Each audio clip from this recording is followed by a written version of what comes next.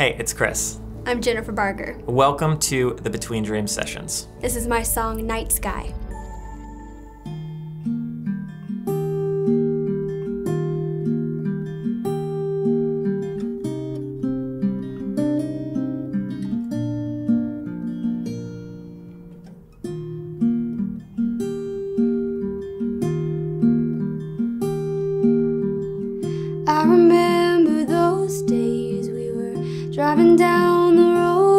Singing our song. I remember every word. What happened to those days when we both rode side by side down my street,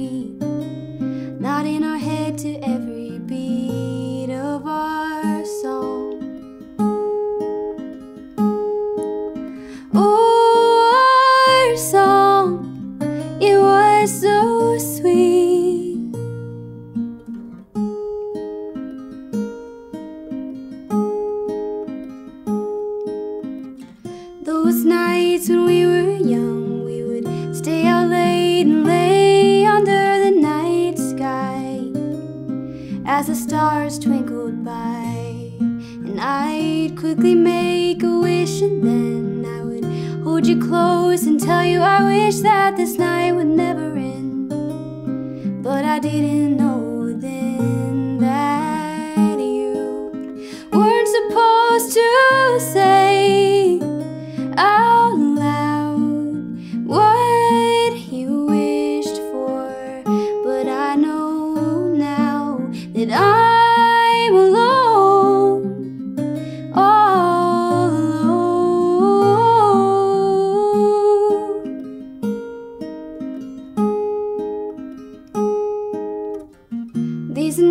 nights when I'm alone, I will stay up late and listen to the words of our song. And wish to myself that those days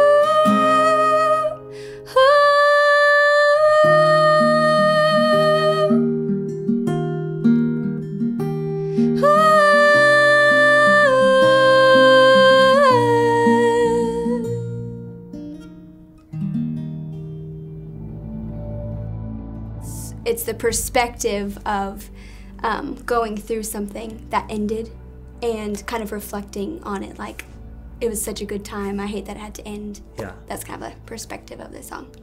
Cool. Yeah. It was written through a lot of like loss of friendships, family members, like death, just parting ways with people. Yeah, I was just kind of thinking, that reflection. listening to it, I was wondering if it was because it could be a specific like one thing or Yeah. it's nice uh, again it's one, one thing that's super nice about songs and music is like even if it was for you about one specific person for the audience it can be Right. universally about one or multiple different people or circumstances or situations That's fascinating. That's why I love music so much. yeah